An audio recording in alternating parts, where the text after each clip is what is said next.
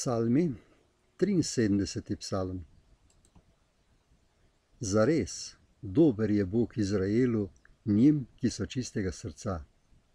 Jaz pa, malo, da se niso spotaknile moje noge, skoraj nič, da niso spodrsnili moji koraki.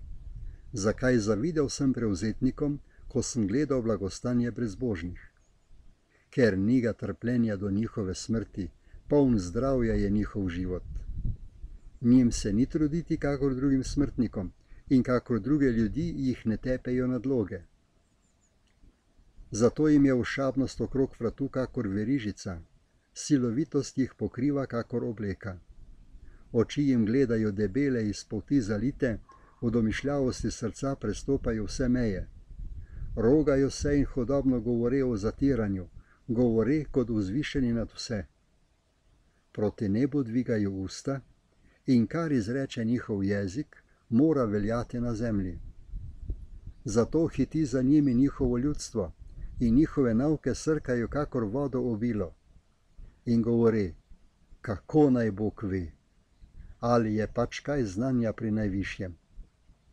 Glejte, ti so brezbožni in vsekdar živeč brez skrbi, kopičijo bogatstvo. Res, Zaston sem čistil svoje srce in v nedolžnosti umival svoje roke, ker sem bil vendarle tepen ves dan in kazen me je znova zadela vsako jutro. Če bi bil jaz rekel, govoril bom isto tako, glej, nezvez bi bil rodu svojih otrok. Tedaj sem premišljal, da bi to razumel, a pretežavno je bilo mojim očem.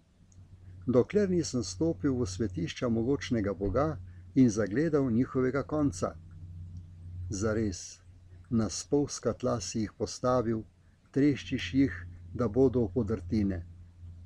Kako so hipoma opustošeni, konec jih je, poginili so v grozah.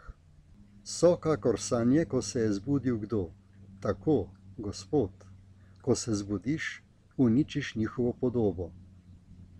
Ko se mi je grenkobe polnilo srce, in me je podlo v mojih ledicah, tedaj sem bil brezpameten in nisem vedel ničesar, kakor živina sem bil pred teboj. A vendar sem vedno s teboj, ker si me prijel za mojo desnico.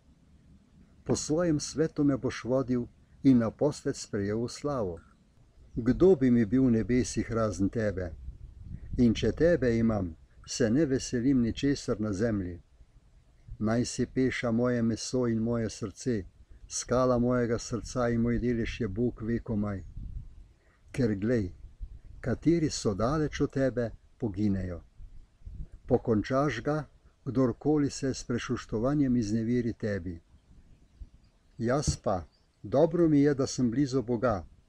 V Gospoda Jehovo stavim svoje prebežališče, da ozdanjam vsa tvoja dela.